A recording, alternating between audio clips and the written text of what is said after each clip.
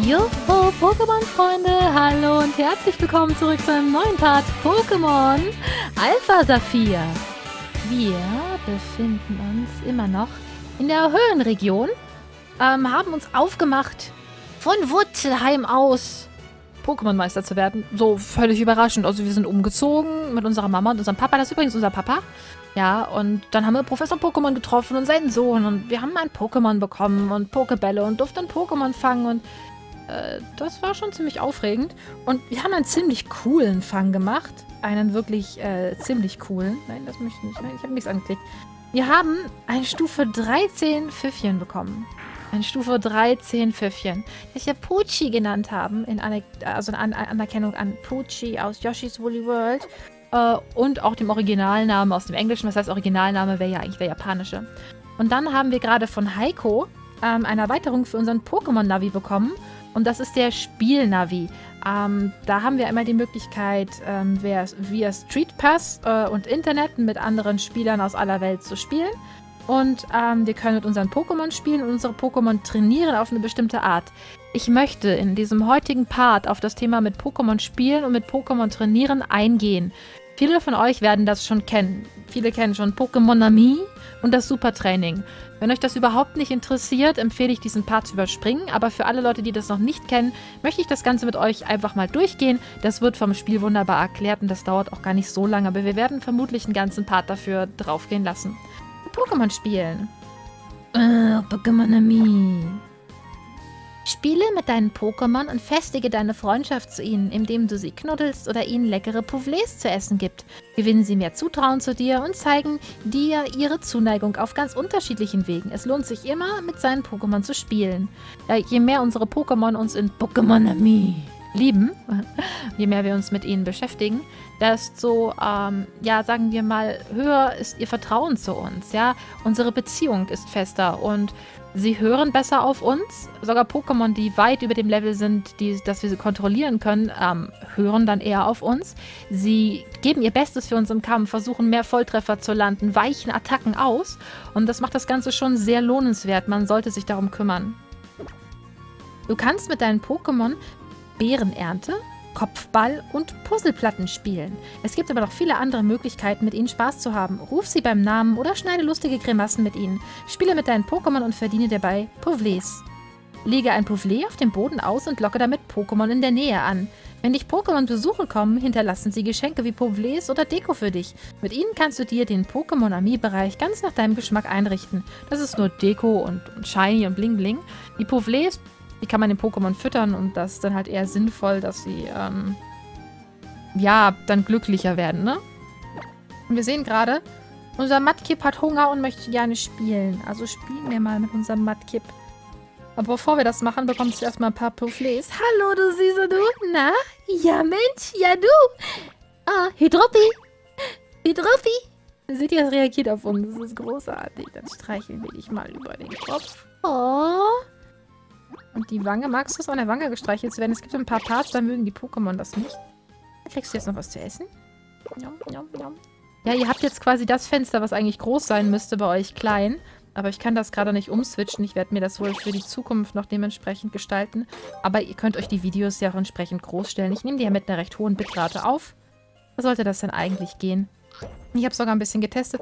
Auch auf dem Handy geht das ganz gut, sich einzelne Bereiche größer anzeigen zu lassen. Nom, nom. Njom, njom, njom. Njom. Oh. Okay, ähm, Hydropi. Dann machen wir uns mal auf und spielen als erstes Bärenernte. Das ist ein ähm, Reaktionsgeschicklichkeitsspiel. Wir können erstmal nur mit leicht anfangen, bevor wir uns zu unendlich hocharbeiten. Da gibt es verschiedene Schwierigkeitsstufen. Und hier ist es einfach so, dass wir dem Pokémon die Beeren geben müssen, die sie haben wollen. Und das backt manchmal ein bisschen, aber also man kann schon einen sehr hohen Highscore damit kriegen. Am besten bin ich einfach immer noch auf unendlich. Das geht am einfachsten. Je schneller das Ganze wird, desto leichter wird es eigentlich. Ähm, es ist auch ganz wichtig, sich nicht so sehr darauf zu konzentrieren, ähm, wo man hinguckt oder dass man sich jetzt die genaue Farbe anguckt, damit die Reaktionszeit nicht zu langsam ist. Ich schaue die ganze Zeit auf die Restzeit und sehe mir einfach im Augenwinkel an, welche Beeren ich dort nehmen muss, nur so als Tipp, weil man das dann halt so im äh, Hintergrund im, im Kopf mitbekommt, sich nicht zu stark darauf konzentriert und dann wesentlich schneller reagieren kann. Man muss sich auch entscheiden, welche Beere man zuerst gibt, damit man halt die Geschwindigkeit halten kann ähm, und die Möglichkeit hat, äh, wirklich all Beeren zu geben. Wenn man einen Fehler macht, ist das natürlich äh, schlecht für den Highscore, ja. Hier musste ich mich zum Beispiel auch entscheiden, welche Beere gebe ich da zuerst. Oh, das hier war jetzt natürlich ausgesprochen praktisch. Und die kommen dann halt auch nacheinander, ja. Okay, das ist jetzt immer das Gleiche. Das ist jetzt nicht sonderlich kompliziert. Und es ist, wie gesagt, ein Geschwindigkeitsgeschicklichkeitsspiel. Wow, so viele Bären. Haben wir gut gemacht, hm? Und auf leicht ist das noch wirklich ganz easy. Ich glaube, das gibt die volle Sternpunktzahl. Highscore, Bärenspezialist. Damit bekommen wir jetzt Pouvelets. Sogar bessere Pouvelets. Ihr seht hier die einfachen, kleinen Runden. Die sind lecker, aber die geben nicht so viele Herzen, wie jetzt zum Beispiel die mit dem Creme oben drauf. Ja? Die mit der Creme sind schon mal wesentlich besser. Und ähm, dieses Spiel wird immer komplexer, je höher der Schwierigkeitsgrad geht kriegst jetzt von mir... Nee, du kriegst normal. Wir wollen die normalen erst aufbrauchen. Ich habe normalerweise nie die normalen Pouvelets bei mir dort oben im Inventar. Sondern achte darauf, dass es immer die hochwertigen sind. Deswegen möchte ich die jetzt am Anfang quasi gleich wieder loswerden. Ja, bist du langsam satt, Matkip? No, nochmal Ei, Ei, Ei machen. Oh, da freust du dich. Hydropi! Hydropi! Hydropi! So süß, okay. Ja, das ist halt wirklich auch ein bisschen Kinderspielkram, aber man hat halt auch was davon. Die Pokémon sind halt wesentlich ähm, kooperativer im Kampf. Seht ihr, das Ganze wird schon komplexer. Es gibt mehr Beeren und mehr Möglichkeiten, Fehler zu machen. Und da muss man sich auch erstmal wieder drauf einstellen. Vor allem, wie man auch den Mauszeiger hält. Also ich bin schlecht darin, wenn ich jetzt ähm, nicht gerade mit einem Tisch oder... Wow, das war zu spät. Mit einem Tisch unter mir spiele. Ich habe das eigentlich immer ganz gerne, dass ich den Gameboy dabei hinlegen kann. Weil ich es sonst persönlich finde schon ein bisschen schwieriger dann. So. Hier gibt es natürlich auch noch keine Strafe, wenn wir ähm, einen Fehler machen. Es bedeutet halt einfach nur, wir sind da nicht so schnell und haben nicht die Möglichkeit, so einen hohen Highscore zu bekommen. Ähm, bei der Schwierigkeitsvariante unendlich bekommen wir dann halt einfach auch noch einen Fehlerpunkt, wenn wir nicht schnell genug sind. Da wäre ich jetzt zum Beispiel viel zu langsam, da muss man sich manchmal auch erst ein bisschen einspielen. Aber ich möchte euch das alles mal zeigen, damit da jeder vielleicht mal sagt, okay, ich finde diese Minispiele übrigens wahnsinnig entspannend zwischendurch. Ah, das habe ich immer gemacht, wenn ich mal wirklich zwischendrin nichts zu tun hatte habe ich meinen Spaß mit. Naja, 41 Bären, das ist schlecht. Zu langsam. Bin zwar damit Bärenidol und habe jetzt schon die wesentlich besseren für meine kleine, süße, niedliche Pokémon bekommen. Aber naja. Kein guter Highscore, sagen wir es so. Aber es schult die Reaktionszeit. Magst du noch was haben? Wenn wir spielen, verbraucht äh, Hydropi halt Kalorien und dann kann man ihn wieder füttern haben wir auch nur noch gute gerade hier. Sehr gut. Und äh, bestimmte Pouvelets mögen die Pokémon auch lieber, habe ich inzwischen festgestellt. Ich dachte, das wäre nur so ein Internetmythos. Aber es ist tatsächlich so, dass manchmal mehr Herzen bei gleichwertiger Qualität auftauchen, als äh, das der Fall ist. Also ich jetzt zum Beispiel, hier haben wir hier die gleiche Qualität, ne? Hier die mit dem Cremehäufchen. Und dann manche Pokémon haben aber vier Herzen bei den braunen und dann nur drei bei den orangenen. Also das scheint da wohl auch noch einer Norm zu folgen. So, schwer ist wirklich schwer, weil da sehr viele Beeren dabei sind. Ich persönlich finde schwer jedenfalls wirklich schwer. Ich mache lieber unendlich. Finde ich nicht so schwer wie das. Da muss ich mich jetzt wahrscheinlich auch noch echt konzentrieren. Weil ähm, die sind sehr schnell weg. Das, man hat sehr wenig Fehlerspielraum hier. Und ihr seht, es sind halt wesentlich mehr. Sie sind anders angeordnet, was ich persönlich das Ganze am schwierigsten macht. Oh, seht ihr, wie schnell das da oben schon gewackelt ist von der, von der Sprechblase? Okay, ähm, zack. Ah, das hätte zählen müssen eigentlich. Ich möchte ja mal... Wow, wow, wow, wow. Seht ihr, was ich meine? Seht ihr? Ich finde das echt, ich finde es echt sehr schwierig, da keine Fehler zu machen. Okay, jetzt habe ich zu lange nachgedacht. Wow, okay, das ging nochmal gerade so gut. Zack, zack, zack, zack. Wenn man erstmal in diesem Modus drin ist, dann geht das auch Gott sei Dank wieder einigermaßen schnell. Am schwierigsten ist es halt, wenn die Dinger weit weg sind. Äh, Finde ich persönlich jedenfalls immer ein bisschen asozial von dem Spiel. Weil man dann da schon doch steht und denkt, okay, und welches muss ich zuerst? Also, das muss man üben. Schwer muss man üben. Ich finde, das ist jetzt nicht unbedingt was, wo man nebenbei entspannt spielen kann. Und so Aber trotzdem bin ich damit ein Bärenwunder.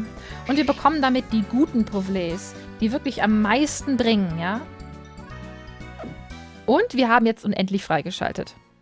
Endlos. Ich sag euch schon mal gleich, es ist nicht endlos, es ist kackenschwer. Und ich werde ja wahrscheinlich jetzt gerade wahnsinnig versagen und mich total blamieren, aber wir machen das jetzt noch. Aha. Fertig. Und wir haben Gott sei Dank hier halt nur fünf Beeren. Das wäre sonst auch einfach nicht machbar, das, was sie da von einem verlangen. Das Spiel wird immer schneller. Sagen wir es einfach so, es wird immer schneller. Und man hat damit die Möglichkeit, die besten Beeren zu bekommen, äh, die besten Profils zu bekommen. Und deswegen ist das äh, endlos sehr interessant. Weil man möchte natürlich hochwertige Pouvelets und äh, damit kommt man an die hochwertigsten, die die am allermeisten bringen. Oh, oh jetzt habe ich einen Fehler gemacht. Alles gut. Noch, äh, noch habe ich eine recht hohe Fehlertoleranzschwelle. Noch geht das. Jetzt wird es schon immer happiger. Jetzt darf ich nicht mehr so lange brauchen. Uh. Jai. Okay. Ja, zack. Macht mich immer ganz fisselig, das Spiel. Es macht mich immer ganz fahrig.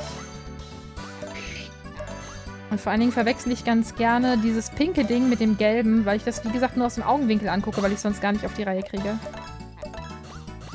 Und dann, mehr, also man hat halt drei Fehler kann man machen und dann ist vorbei. Und das passiert halt dann doch mal ganz schnell. Okay, wir sind schon bei über 60. Ich weiß gar nicht, was mein Rekord ist. Ich will es auch gerade gar nicht wissen. Muss ich mal auf meinen anderen Spielstand gucken.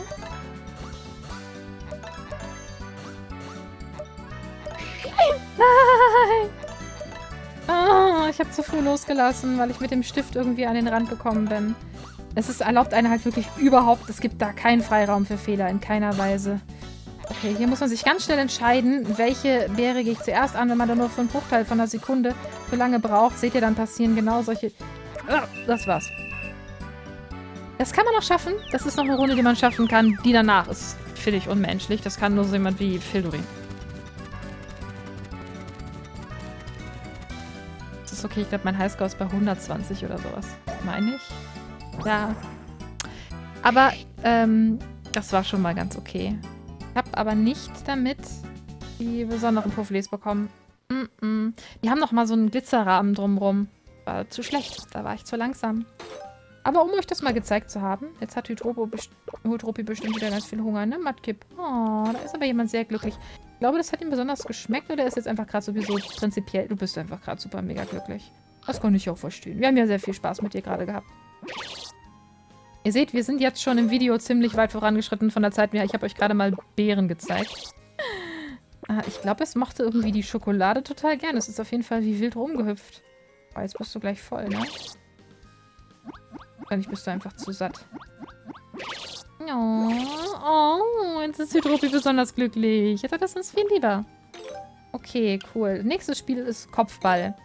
Da werde ich jetzt mal drauf verzichten, euch den Schwierigkeitsgrad zu zeigen. Endlos ist genauso wie da bei den Bären auch. Es wird immer schneller und immer schwieriger und immer länger und man hat nur drei Fehlerzeit. Kopfball geht darum, zack, Wollknäule nach oben zu schießen, die auf uns runterrieseln. Das macht sehr viel Spaß. Das mache ich auch sehr gerne, aber das verbraucht, finde ich, mehr Konzentration als es bei der Beerenernte der Fall ist. Zumal es hier auch so ein paar assige Wollknäule geben kann, die total langsam ankommen. Das Ganze folgt auch noch so einen Rhythmus. Man darf, eigentlich hört man auf den Sound irgendwann nur noch. Und gar nicht mehr so sehr hingucken, macht es schwieriger, finde ich persönlich jetzt. Man will sein, natürlich keine Fehler machen, man will seine Combo nicht unterbrechen. Und dann fängt man an zu schludern, drückt zu früh oder zu spät und äh, eigentlich kann man nebenbei nicht quatschen. Oh Gott. Uh, das war ein bisschen arg knapp gerade. Wow. Mag es lieber, wenn die schneller kommen. Hä? Hey.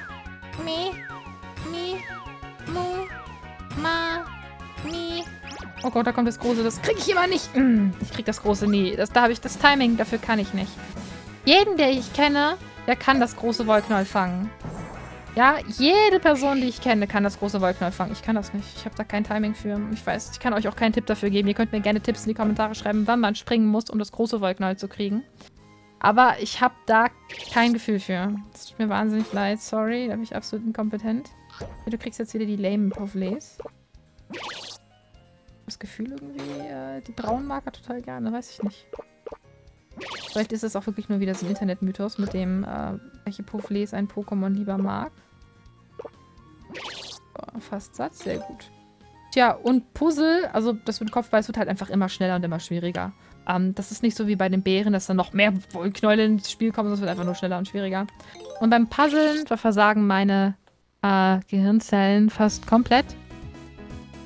Ähm, es geht darum, halt ein verschobenes Puzzle fertig herzustellen. Tausche per Touchscreen die Position der Paletten, um ein Bild zusammenzusetzen. Das ist eigentlich alles ziemlich gutes Kopftraining. Ich nehme mir immer erstmal die Ecken vor, weil ich genau weiß, dass die schon mal richtig sind. Dann weiß ich hier untener Rand, oben Rand passt schon mal zueinander.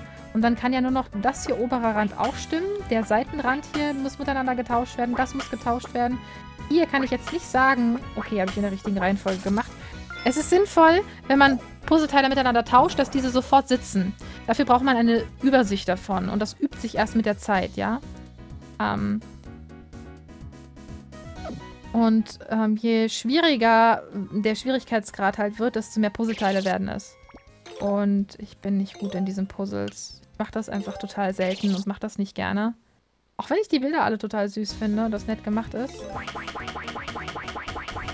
Und wer schlau ist, merkt sich eigentlich gleich, was hier los ist, aber immer erstmal schon mal die Ecken austauschen, weil man weiß halt, das sind feste Positionen. Jetzt gucke ich mir Randseiten an, weil diese Ränder müssen miteinander zusammengehören, das ist schon mal vollkommen klar.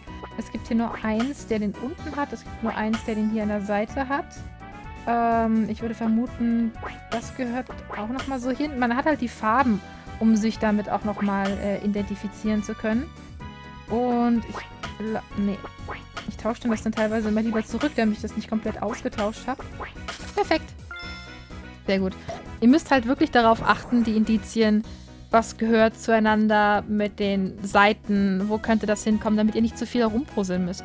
Also man entwickelt da mit der Zeit eine eigene Taktik für. Meine Taktik ist schwierig da eigentlich zu erklären. Ich versuche mir wirklich das Puzzle übersichtlich zu merken. Oh Gott, und schwer bin ich echt nicht gut. Und dann halt wirklich gezielt. Es kommt auch auf das Bild an. Manche Bilder sind viel leichter als andere. Und es kommt natürlich auch oft darauf an, wie die ganzen durchgepuzzelt werden. Und ich finde jetzt zum Beispiel hier ist es sehr schwierig zu unterscheiden, wo hier Eckteile sind. Das muss eins hier mitten in der Mitte sein. Oh, das war falsch. Ich, ja, natürlich, das gehört weiter oben, ist klar. Hier ist die Ecke. Das muss mitten in der Mitte sein. Okay, dann ist es direkt... Die kann ich miteinander tauschen. Da sehe ich ja auch, dass es ein Rand ist. Ähm, hier muss es ein Rand sein. Das ist auch schon mal korrekt. Ich habe hier auch Glück. Das hier ist auch ein Oberteil mit einem Unterteil zu tauschen. Ich hätte schwören können. Perfekt, das passt schon mal. Die müssen auch passen. Dann passen... Nein, Moment. Dann passen die hier. Dann passen diese hier. Also ich versuche mich halt wirklich an den Rändern zu orientieren, so gut es geht. Es könnte auch sein, dass du... Nein. Nee, dann, dann gehörst du dahin. Oh, ich finde das, find das schwierig. Ich bin da so ein absoluter Puzzle-Noob, ne? Nee, das geht ja gar nicht. Ähm, es muss... muss oh Gott. Ich habe keinen blassen Dunst gerade. Äh... Aber das ist auch nicht. Das ist es. Okay, da unten ist alles mit Sand. Dann müsste ich das eigentlich jetzt hinkriegen können. Jetzt, wo ich weiß, dass es hier alles das mit dem Sand ist. Das hat schon mal geklappt. Das Geweiher, das stimmt. Ähm... Okay, das haben wir auch schon mal hingekriegt. Oh je, nee. Da macht sich wieder meine mein langsames Denken bezahlt. Oh Gott, das hat ewig gedauert. Seht ihr? Das war schlecht.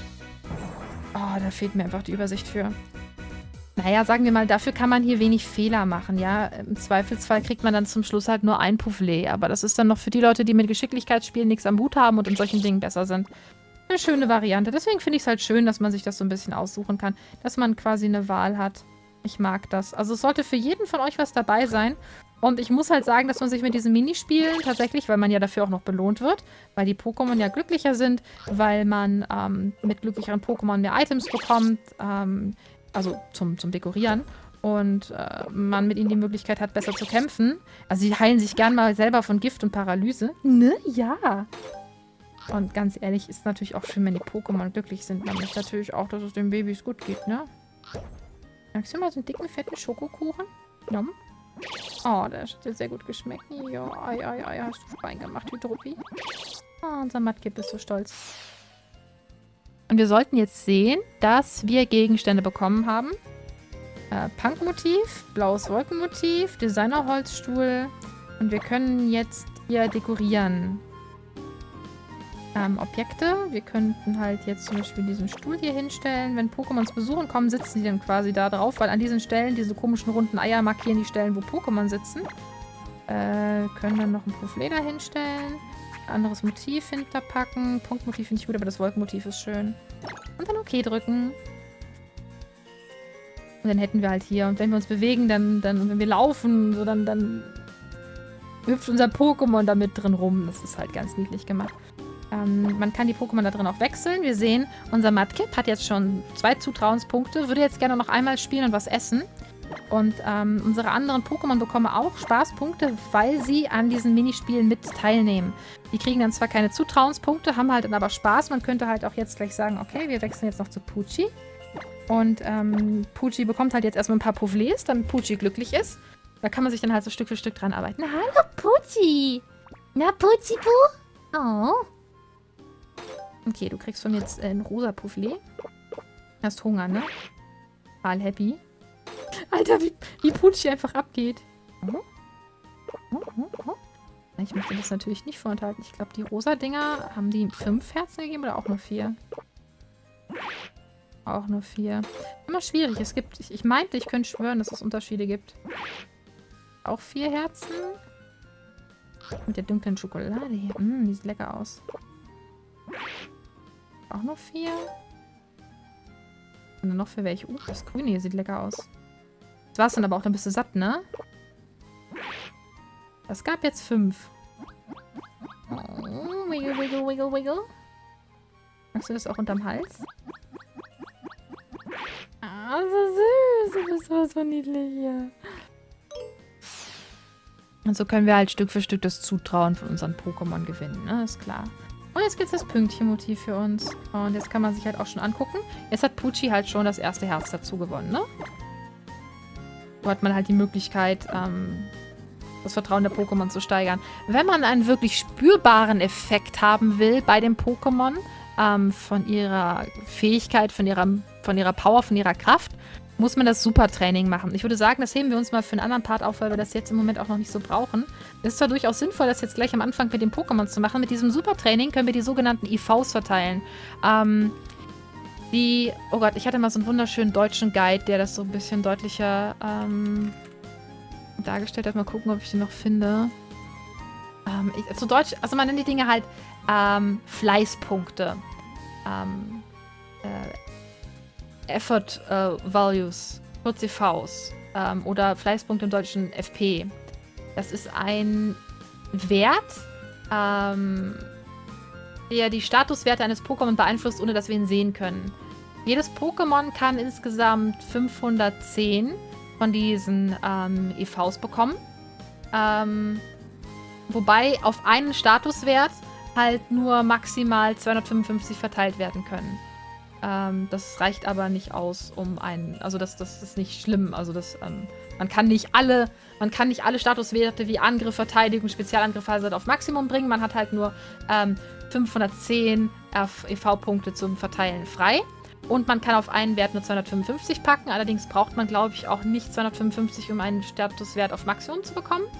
Ähm, das gibt es auch erst oh, seit nach Pokémon Silber, glaube ich. Ja, ich glaube, nach Pokémon Silber fing das erst so an.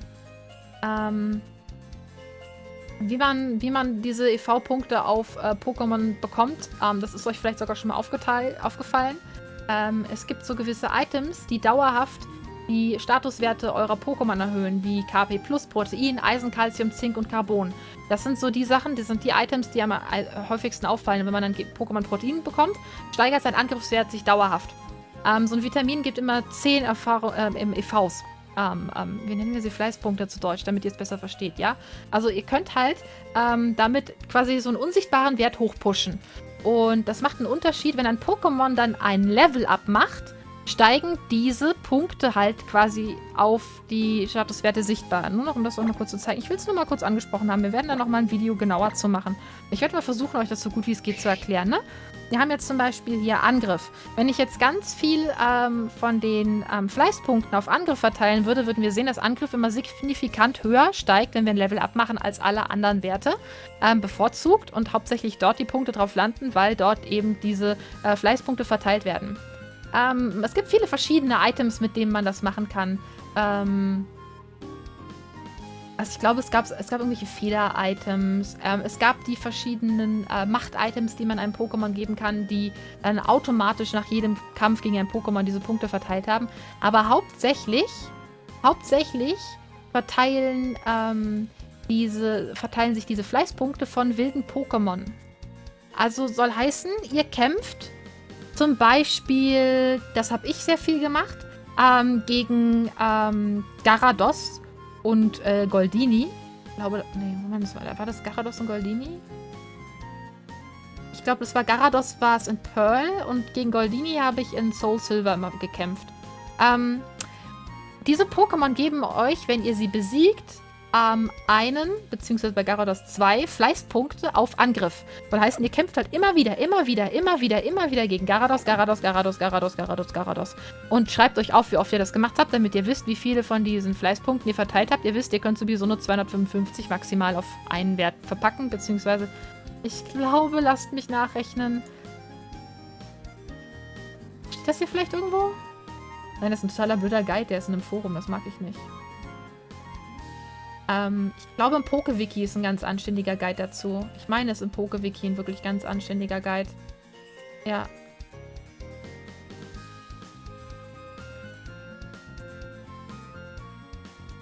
Ähm, es gibt halt viele Möglichkeiten, da möglichst schnell ranzukommen, das zu verteilen. Inklusive des Pokémon Supertrainings, wo man ganz gezielt einzelne Statuswerte pushen kann und sich auch angucken kann, wie diese Fleißpunkte verteilt sind. Das macht man hier in diesem Pokémon Super Training. Aber das schauen wir uns mal in Ruhe an. Ich glaube, das Pokémon Super Training werde ich benutzen, um einen Guide zu den ähm, Fleißpunkten zu machen. Meint ihr, ist das eine gute Idee? Damit beschäftigen wir uns aber erstmal später. Wir machen jetzt erstmal weiter in der Hauptstory. Wir haben heute Pokémon spielen, Pokémon knuddeln gemacht. Heute war ein niedlicher Knuddeltag. Ich habe euch ein bisschen was über Fleißpunkte erzählen können. Das war vielleicht für einige zu viel.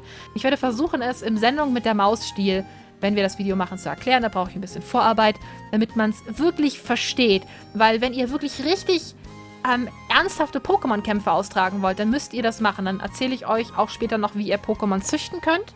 Ja, wie ihr äh, es schaffen könnt, dass die Pokémon perfekte Gene haben.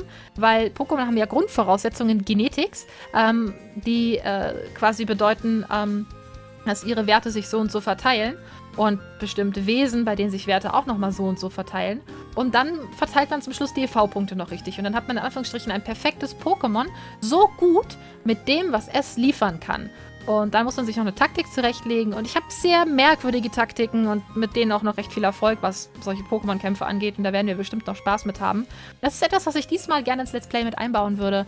Dass ähm, in einem Livestream dann mal, wenn wir hier durch sind mit dem Spiel, Pokémon züchten, Pokémon EVs verteilen, ein Team aufstellen und dann kämpfen mit Taktiken und allem drum und dran.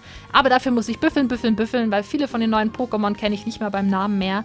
Ich kenne teilweise deren, ähm, deren Schwächen nicht, weil ich deren Typus nicht kenne. Viele von den Attacken kenne ich nicht. Wir werden also üben, üben, üben, gemeinsam und werden dann gemeinsam ein Pokémon-Trainer sein, der nahezu perfekt ist. Und das, äh, naja, ist noch weit hin. Ist noch weit hin, ja. Das wird noch ein bisschen dauern. Ich verabschiede mich erstmal. Bis zum nächsten Mal. Danke fürs Zuschauen, danke fürs Kommentieren und dabei sein. Bis dahin. Bye, bye.